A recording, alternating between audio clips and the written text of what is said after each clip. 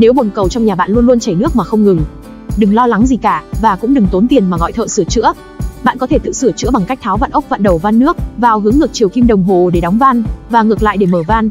Nếu bộ xả nước bên dưới cầu bị bít, bạn có thể vặn về phía trái hoặc phải để tháo ra và làm sạch. Hãy ghi nhớ các bước trên để tự sửa chữa và tăng cường sức mạnh xả nước. Hy vọng với thủ thuật nhỏ này giúp bạn khắc phục vấn đề dò nước của bồn cầu nhà mình.